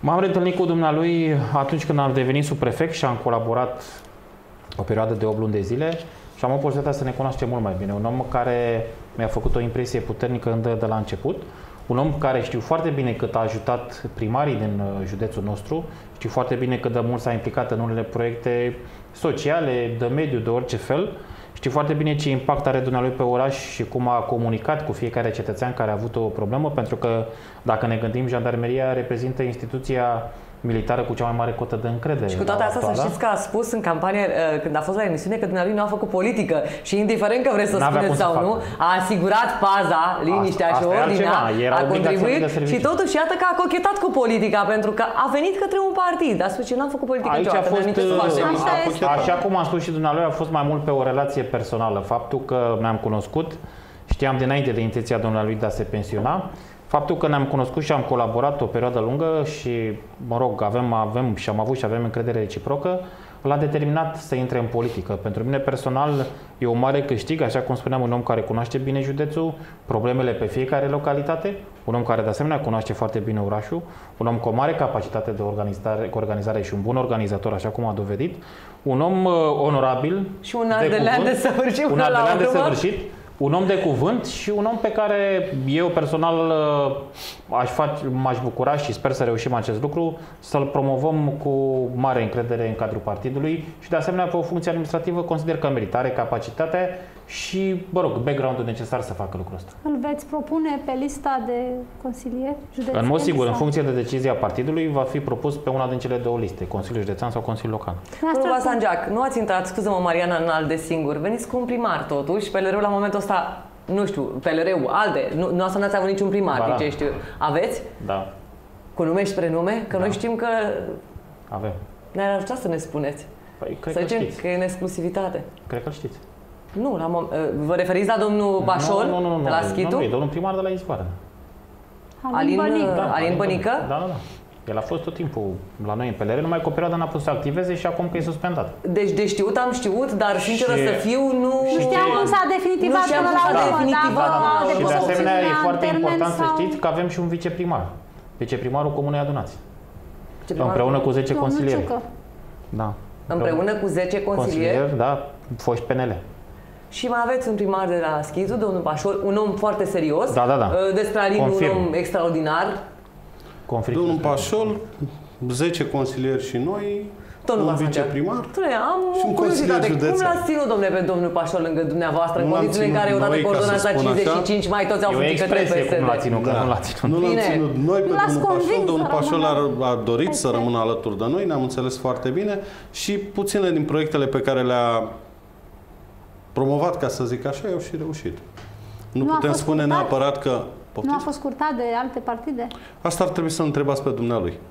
Dă seama că domnul Eu Basangeac nu are cred cum să că știe, fiind cu președinte de siguranță a fost partid. curtat A fost, și de sigur. alții, însă am plecat împreună la un drum, dumnealui este la primul mandat, uitați că am rămas până acum împreună. Eu Probabil nu sper a vrut că- să înșele nici așteptările electoratului care și-a pus încrederea în el și Noastră știți că la comună electoratul uh, axat pe un partid exclusiv uh, are mai puțină importanță sau sunt mai puțin ca număr decât cei care aleg omul, primarul. Uh, Contează fruntașul omul, satului. de acord cu dumneavoastră, însă eu cred că și dumnealui fiind la prim mandat a vrut să arate că este un om uh, loial și un om care Consecvent. nu pleacă de Nu, a vrut să la... arate că este un om loial, un Din om câte echilibrat, un om... uh, știu, acum mai mult din povestiri, fiindcă nu-l cunosc pe domnul Pașol înainte de a fi primar, uh, de a câștiga primăria, puțin înainte l-am cunoscut. Uh, Din câte știu și din câte se vorbește despre el în, uh, în județul Giurgiu, întotdeauna l-a caracterizat uh, un caracter puternic, uh, loial, uh, care a știut întotdeauna ce vrea și care și-a păstrat cuvântul dat. Domnul Toma, mă întorc la dumneavoastră. M-a surprins cu informația asta că domnul Alin Stanciu Bănică este, uh, reprezintă PLR-ul ALDE la momentul ăsta, sau nu știu cum ați, uh, cum să Avem și consilieri la dumnealui. Așa cum spunea și colega mea Mariana, noi nu am știut cum s-a definitivat această poveste. Știm cu toții că Alin a trecut într-o perioadă grea Da, și și- totuși înțeleg că la momentul A ăsta... corespuns, dar el a completat acea solicitare, a depus-o, dar n-a reușit să o confirme pentru că, din păcate, mă rog, știți ce s-a întâmplat și... Doamne, dacă lucrurile s-au așezat acum și sunt bune, ăsta este Da, el a important. fost împreună cu noi la congres, nu, nu se pune problemă. Bănuiesc că în această perioadă veți face și un, să vedeți câți consilieri, câți uh, vă puneți... Da, sigur, ne punem bazele de dat la cap Suntem la la cap, le început, avem un principiu, bineînțeles nu e că- problemă. Da, abia vineri s-a ținut congresul. Noi credem că în scurt timp vom definitiva tot ceea ce e de definitivat. Adică Sunt convinsă că nu- veți chiar n-am definitiva, discutat având pe în vedere aspectul că ăsta. Vă doriți acest lucru, v-ați dorit această fuziune foarte tare și Bineînțeles. tocmai de aceea uh, ne gândim și la timpul rămas până la alegerile viitoare, fiindcă reprezentanții noi formațiuni politice, Alianța Liberal-Democrată, să spunem așa, ca Da. să obișnuim electoratul, ALDE, au stabilit deja că la alegerile locale și parlamentare vor participa independent, iar candidații vor fi stabiliți prin alegeri interne. Este Da. timpul necesar? Da, cum să nu? Avem un, Un an an de de zile zile. la dispoziție, un an în care, pri- ca prim obiectiv este să consolidăm organizațiile, să le lipim, să atragem oameni noi și, pe urmă, așa cum am spus de fiecare dată, pe baza unor studii sociologice, pe baza unor sondaje mai concret, să stabilim cei mai buni candidați, lista de candidați, prioritățile pe care ne axăm, zonele în care putem să avem rezultate foarte bune și mult mai multe lucruri. Practic, ce face un studiu sociologic bine determinat. Aveți Lucrul ușor ăsta se deschisă poate pentru întâmpla toată pe lumea, domnul Toma, domnul Basanjac? Ei, nu pentru puteți clasa să de spuneți mijloc că în pentru primul toată rând. lumea. Nu, nu, nu.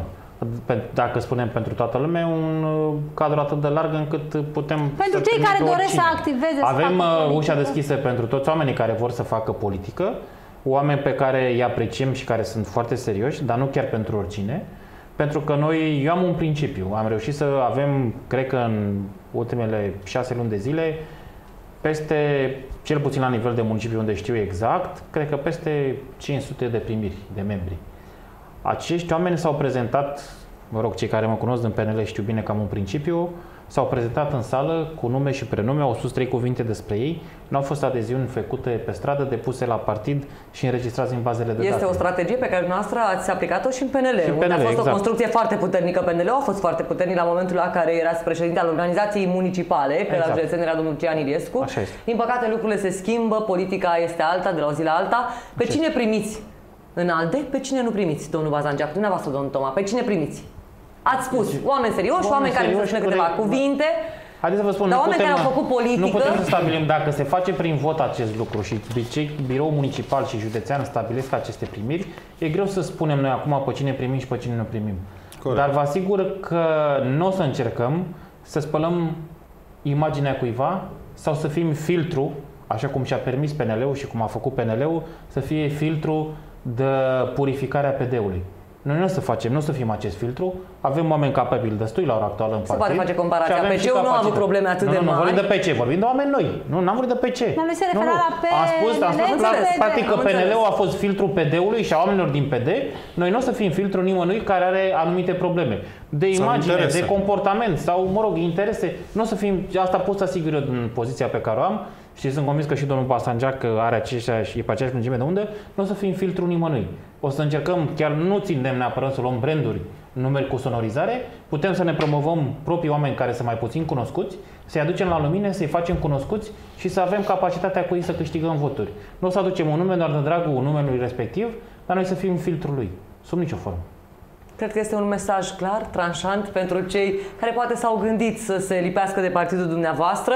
A existat și o conferință de presă unde colegii dumneavoastră, consilieri județeni, au ieșit și au spus că ei cine nu nu? sunt de acord ca în partid să vină uh, alte persoane. Cred că o să Păi, trecem la aici politică. un răspuns bun ar fi exemplu dat, totuși, pe părerea mea a fost un aspect negativ ăsta în USL. Imediat după ce USL-ul a trecut la guvernare, uitați-vă puțin și cu siguranță știți cu toții câți alți membri au venit fie la PSD, fie la PNL.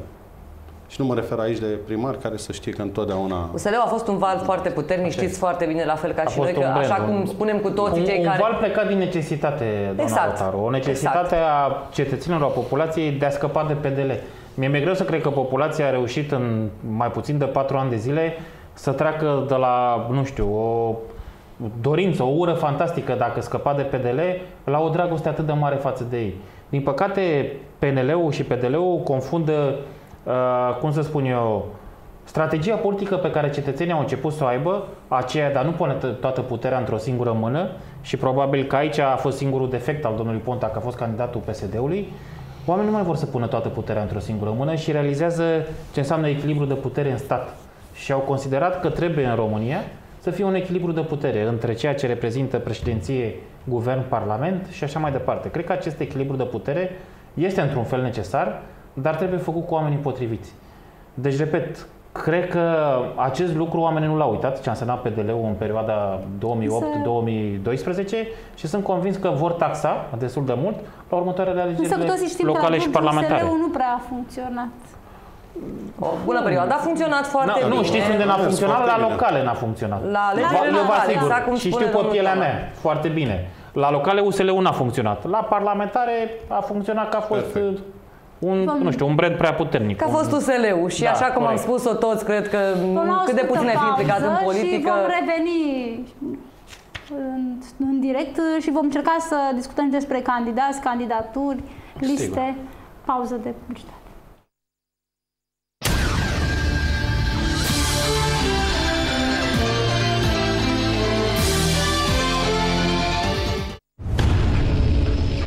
În direct la Valahia TV.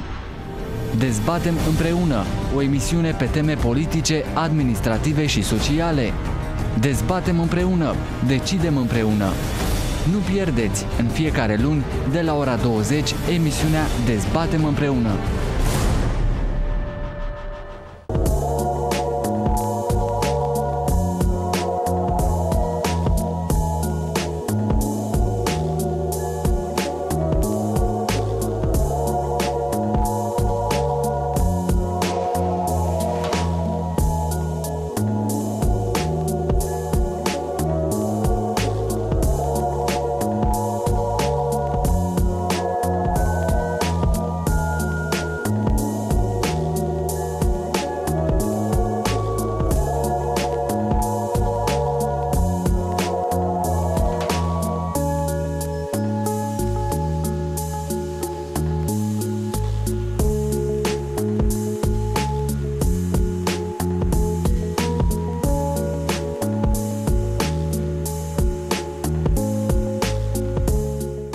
Informația de giurgiu.ro Prezentul și viitorul sunt online.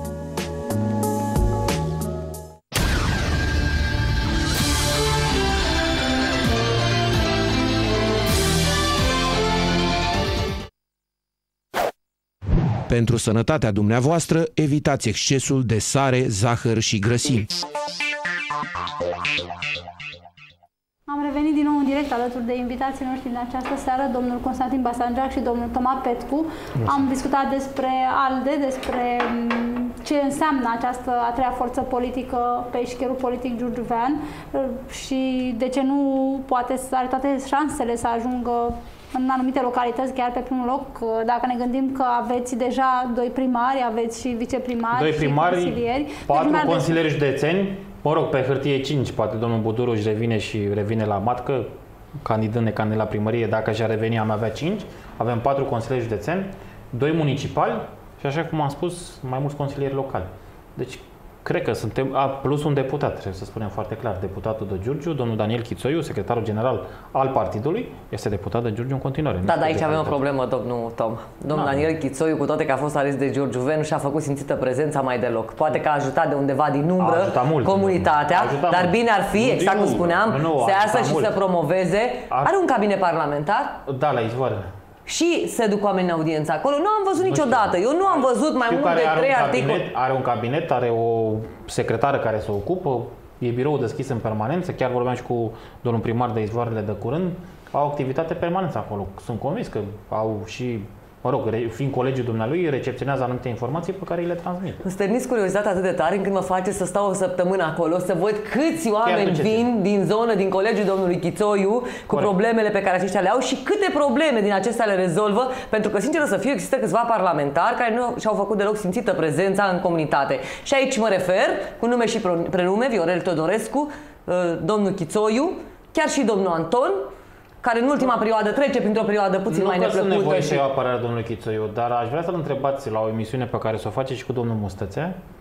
De ce sprijin a beneficiat dumnealui în perioada în care PNL-ul a fost la guvernare în frunte cu domnul Chițoia ca și vicepremier și câți bani au fost, mă rog, a fost sprijinit județul Giurgiu, nu, să nu folosesc expresia, au fost aduși, că nu i-a adus dumnealui personal, cu, cu ce sume considerabile a fost sprijinit județul Giurgiu? Păi nu, noi vorbim și de câte momentul proiecte? ăsta. Știm, știm că la un moment La momentul dat domnul respectiv Chițoiu, s-a mediatizat, în s-a momentul vorbit când a despre perioada când a fost ajutorul, ministru, a da. ajutat, a Foarte sprijinit, știm și zonele pe unde a ajutat, dar totuși acum în perioada asta, Cristina Giurgiu- spune că ar fi bine să vină să spună ce a făcut, chiar dacă a ajutat, fiindcă oamenii nu știu și îl judecă în lipsă și judecă Și asta ar trebui să facă informațiile pe toți care le parlamentarii, primesc. toți oamenii politici. Că și un fel de noastră raport. spuneați mai devreme, nu vreau să mediatizez. Dar Nu e bine să faceți lucrul ăsta. A, că dai unui om o pâine, să ieși să spui am dat unui om o pâine. Nu e. Ja, cazi în Tocmai ridicol și asta- ridicolul nu vă avantajează pe dumneavoastră, pe Dar politicieni.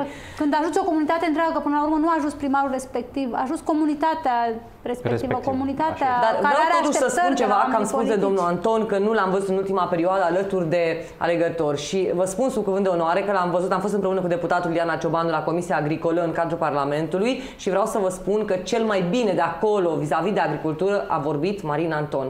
Deci, sub cuvânt de onoare vă spun că se pricepe foarte bine la acest domeniu și cred că ar putea să facă lucruri bune. Că el trece printr-o perioadă grea acum și el și senatorul Lucian Iliescu, Doamne ferește. asta este să ne ferească Dumnezeu de lucrurile astea. Mariana. Am uh, vorbit până acum despre ALDE, ce înseamnă ALDE. Aș vrea să vă întreb uh, cum vi se pare scena politică locală, referindu-ne la, strict la acele probleme care există în PNL, fiindcă ele există, atâta timp când nu există un copreședinte. Dumneavoastră veniți din PNL, ați plecat uh, în urmă cu ceva timp nemulțumit de fuziunea cu PD-ul, însă și PSD-ul a avut anumite probleme și a dat demisia domnul Bădălău, nu a fost acceptată, este în continuare președinte și exemplele ar putea continua. Cum ați caracterizat dumneavoastră scena politică giurgiuveană la momentul actual?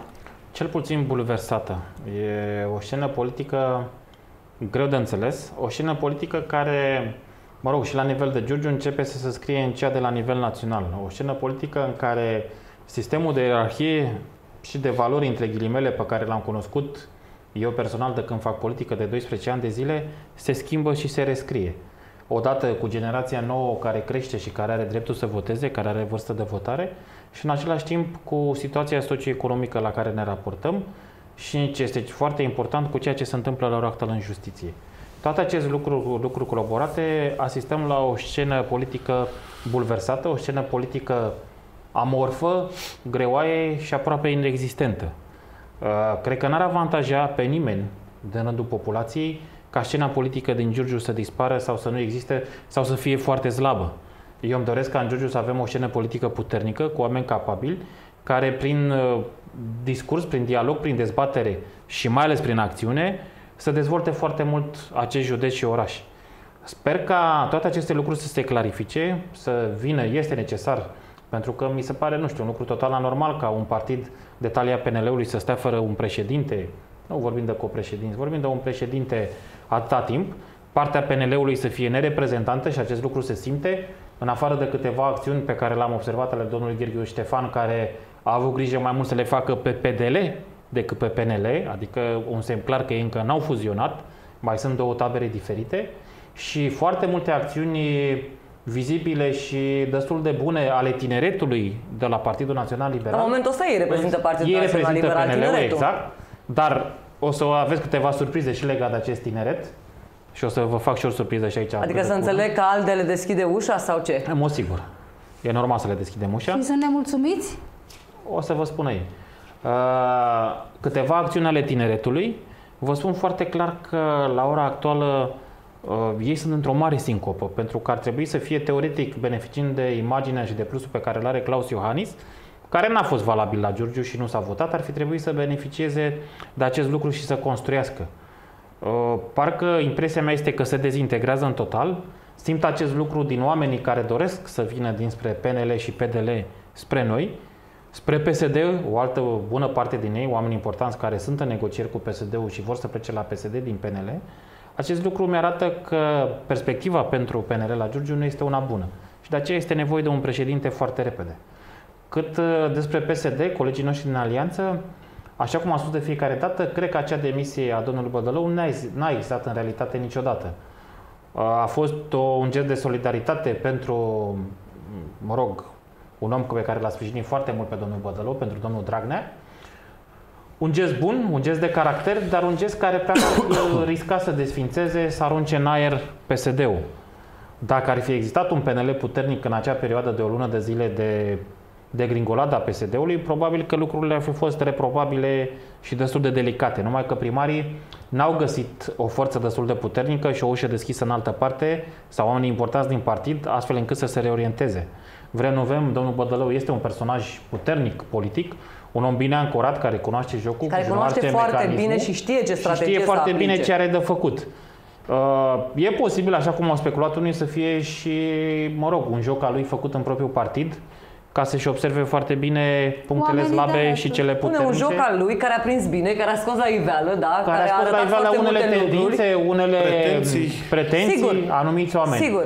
Dar cred că PSD-ul ușor, ușor se va restabiliza, își va găsi iar cadența. Au și câteva probleme, am văzut și de disputa aceea cu primare care s-au întâlnit sau nu pentru a face vreun puci împotriva domnului Bădălău.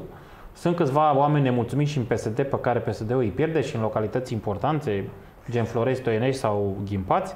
Cred că ar fi cazul, e doar un sfat, nu-mi permit să fac mai mult de atât pentru PSD, să fie mult mai atenți și mai uh, aproape de acești oameni care le-au adus Nu, Toma, foarte nu multe uitați că pe voturi. fondul problemelor din PNL, pentru că toată lumea crede că există doi poli politi- politici puternici, PNL și PSD. Lucrurile nu stau deloc așa. Așa Pe este. fondul acestor probleme din PNL, PSD-ul crește, PSD-ul câștigă, prinde putere. Oamenii asta ar trebui să înțeleagă și mă refer la oamenii care fac politică. Domnul Bazangeac, a descris foarte bine, domnul Toma, situația politică actuală. Noastră ați mai vorbit despre situație. Știu că nu este genul să intrați în polemici, dar totuși cum vedeți? Mergeți la Consiliul Județean, participați la ședințe, aveți colegi și prieteni de la alte partide politice, pentru că dincolo de toate noi trebuie să fim prieteni, da?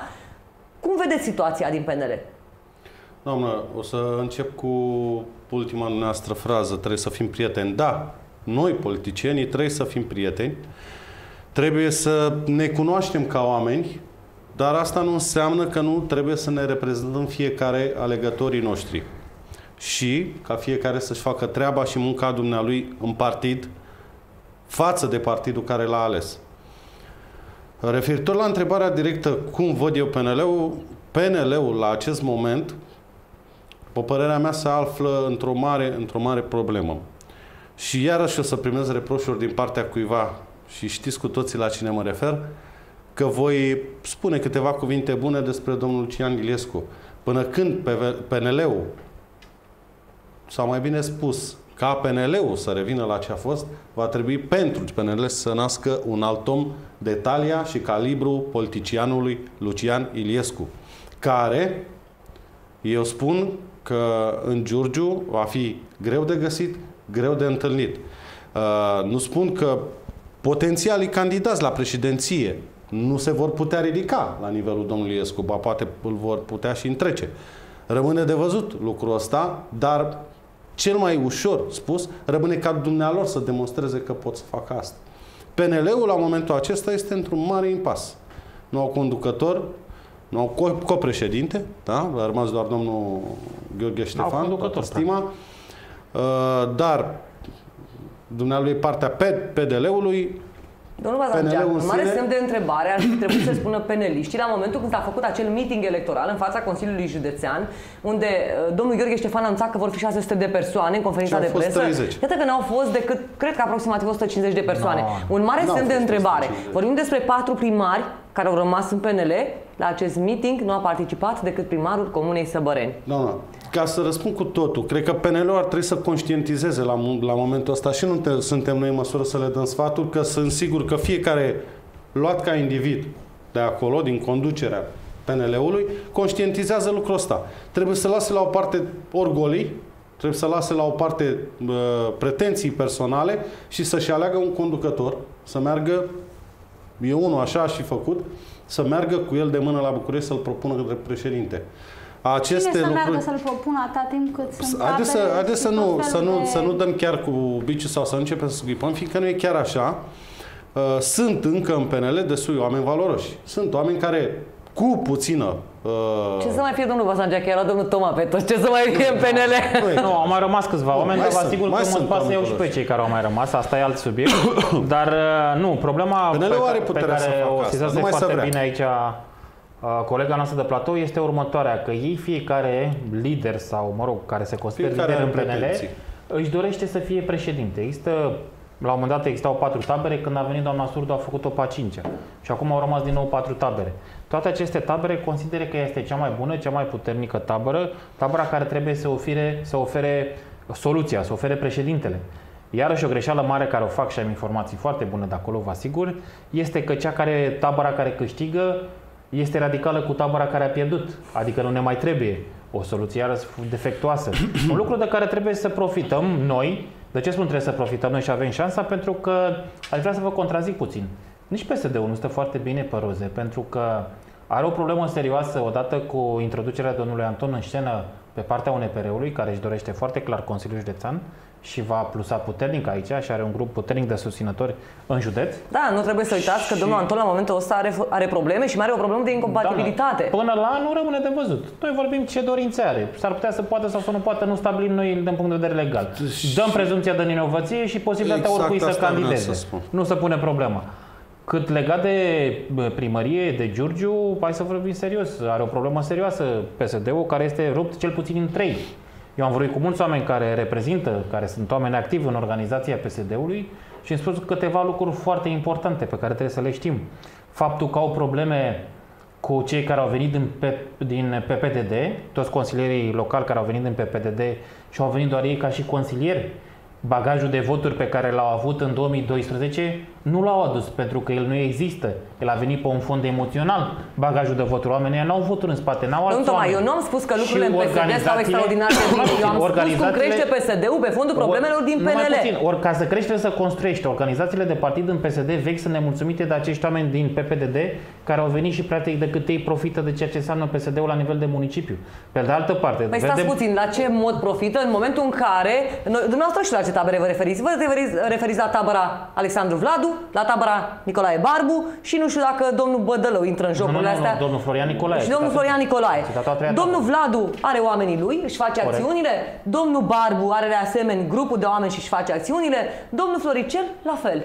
Păi și este normal? Nu este normal. Absolut nu este normal. Nu, absolut nu este normal. Și eu mă întreb cei care sunt psd de 20 de ani de zile și au stat acolo și au dus de multe bătălii, E normal să simtă dați la o parte Dar unde au fost psd ăștia de 20 de ani, domnul Toma, atunci când PSD a avut probleme foarte mari? Au fost de fiecare dată Unde au fost oamenii ăștia? Sunt oameni care au stat acolo indiferent că partidul a fost la guvernare, că a deținut o funcție locală nu sau nu. uitați că PSD au, fost, au un electorat puternic. Consilieri au un electorat puternic, să știți, au, au baze, au structuri.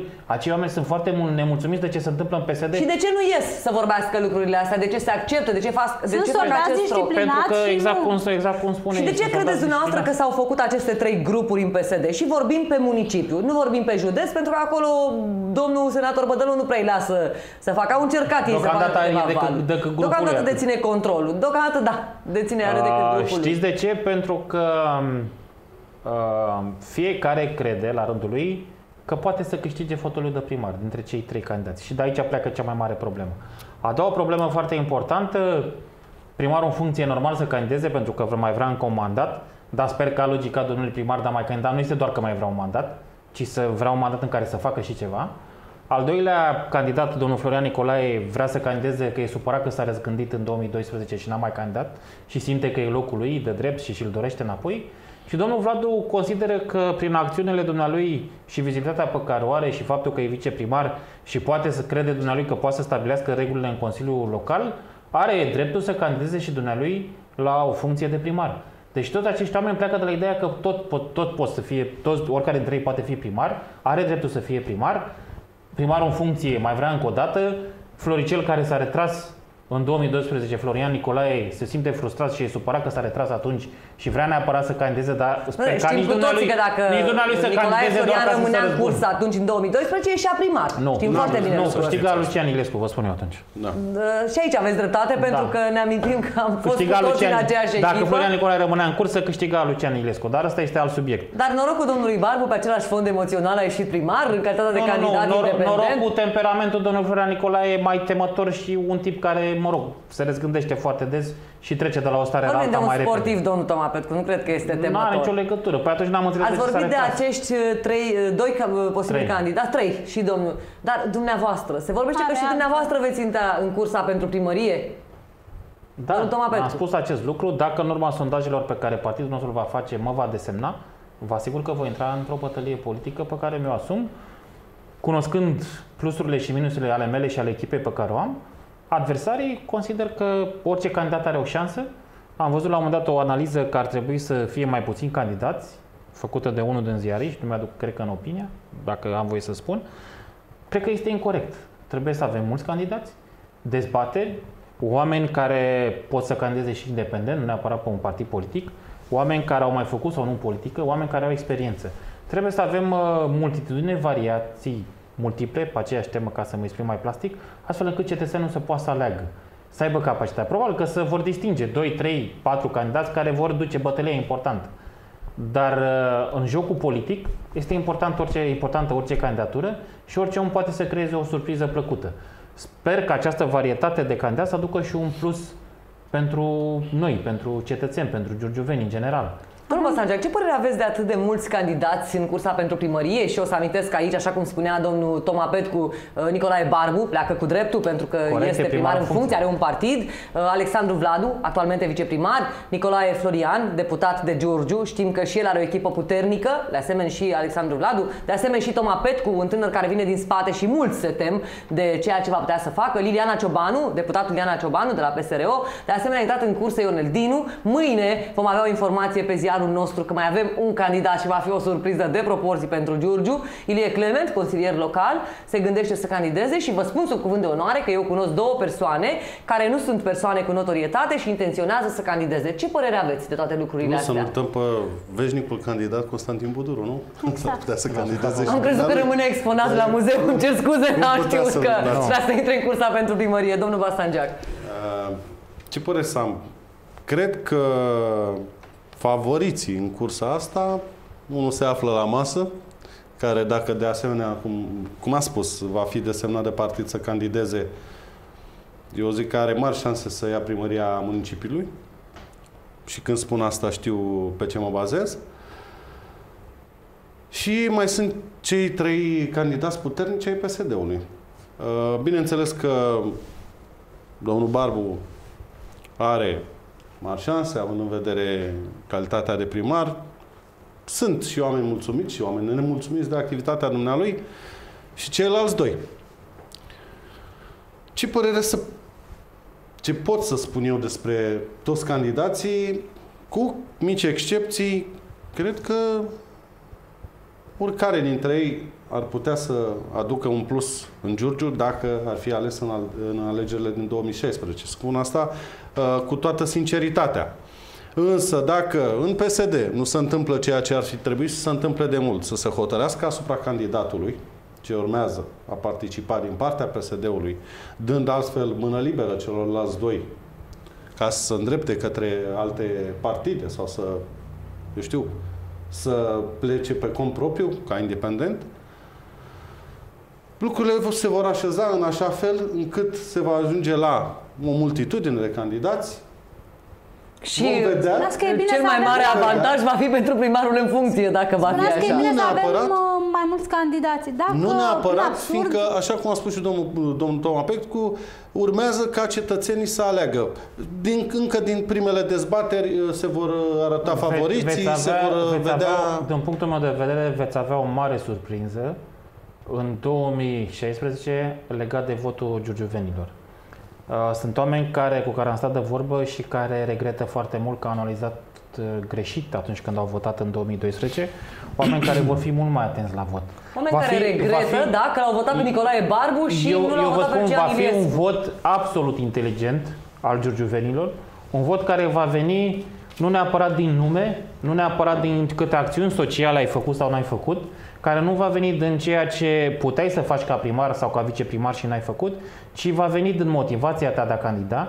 Chiar nu-mi doresc să vină cineva să candideze, bă, vreau să candidez că regret că în 2012 l-am lăsat pe Barbu și acum trebuie să fiu eu, adică să mă răzbun. Sau să vină cineva, vreau să candidez că sunt primar în funcție și trebuie să continui. Nu sunt argumente. Argumentele sunt altele pentru care vrei să candidezi, în mod normal, pentru cu care să convingi cetățeanul să te susțină. Și ce este foarte important, uh, dezbaterea de idei, credibilitatea și lista, echipa pe care o pui în spate. Oamenii Echipa care te este cea mai susțin. importantă, domnul Toma. Este foarte importantă și echipa, este foarte important și liderul, mesajul cu care vii, credibilitatea și nu în ultimul rând uh, trebuie să înțelegem foarte clar că cetățenii giurgiuveni vor avea o, o atenție foarte mare la vot, va fi foarte greu ca cineva să-i mai manipuleze în vreun fel, va fi foarte greu să mai voteze emoțional, vor vota din punctul meu de vedere, cred că, va- așa cum am spus, va fi primul, sau poate printre primele voturi absolut Nu, cred deștepte, că inteligente ale uh, ne giurgiuvenilor. îndreptăm spre niște alegeri curate, curate pentru că primul rând. politicienii În primul rând. au început să se teamă de Direcția Națională Anticorupție. S-ar putea să fie un vot curat, că nu mai dăm bani În pe mod la colțul sigur. străzii și pungi, În mod sigur, așa cum se asta făceau vor- și celelalte campanii Nu, și o să vă asta rog să vor nu mă ieși. contraziceți pentru că Nu, știu nu, ce nu. spun. Și oamenii poate că vor vota și emoțional, că dacă mie îmi place de un om și mi-a nu, plăcut ce a făcut, Nu, aici vă contrazic. Nu, Nu, vor mai vota emoțional. Emoțional. Vor vota pragmatic și, repet, vor stabili în același timp un echilibru de puteri, inclusiv în orașul nostru. Fiți foarte proiectul, atent la acest proiectul cu care va veni în spate fiecare candidat și echipa aleasă, eu cred că vor fi determinante în alegerea viitorului primar și a viitorului Consiliu Local. Spuneți că proiectul este foarte important.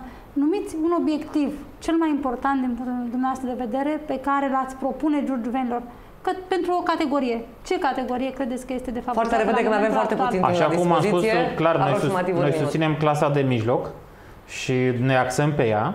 Și aici revin cu ce v-am spus mai devreme. Cele două proiecte majore pe care eu le văd este aceea de dezvoltare a infrastructurii portoare, dar o dezvoltare reală, cu soluții reale.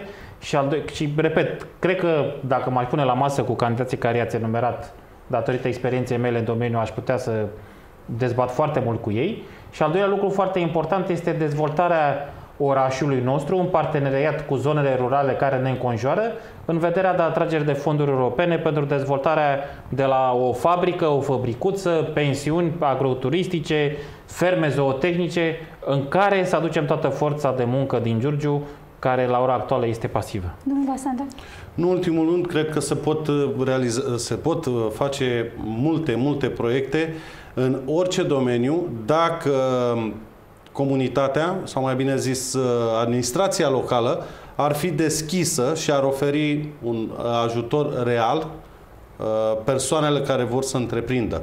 Nu ne trebuie, așa cum spunea și domnul Pe- uh, Toma Petcu, ne trebuie neapărat să vină mari investitori ai lumii ca să pună bazele a cine, a cine știe ce fabrică în Giurgiu, ci trebuie să, să găsim metodele prin care să ajutăm cetățenii proprii din Giurgiu de a dezvolta o afacere, de a dezvolta o mică întreprindere, de a dezvolta orice care să producă locuri de muncă și bani pentru dezvoltatori. Mariana, eu vreau să te felicit pe tine, aș vrea să le mulțumesc domnilor, nu mai avem foarte mult timp la dispoziție, aș mai fi avut întrebări despre Consiliul Județean, despre echipă, despre oportunități, despre soluții, dar sunt sigură că vor participa și la alte emisiuni, pentru că au răspuns mereu da invitației noastre. Vreau să te felicit pe tine și pe colega ta, Clămioara Ocunski, pentru tot efortul de voluntariat pe care îl faceți, cred că dumneavoastră știți la Le ce mă felicit. refer.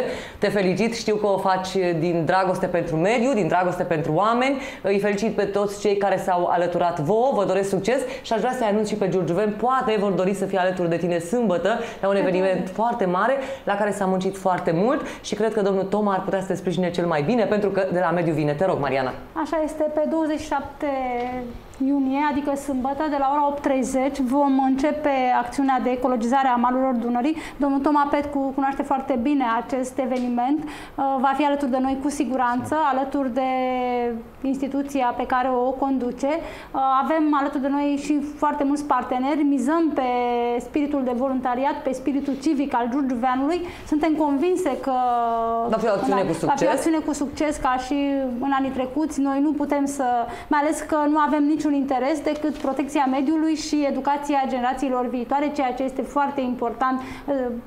Vă mulțumesc vouă colegilor mei din presă că m-a susținut de fiecare dată.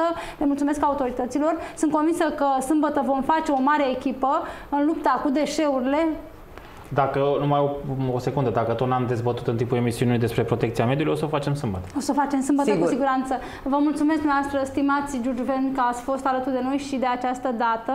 Vă asigurăm că și luna viitoare vom veni în fața noastră cu subiecte de interes local și general. Le mulțumesc colegilor mei de platou, colegilor mei din studio, colegilor mei de la Valahia TV, fără de care nu am fi putut să asigurăm uh, echipa, tehnica necesară.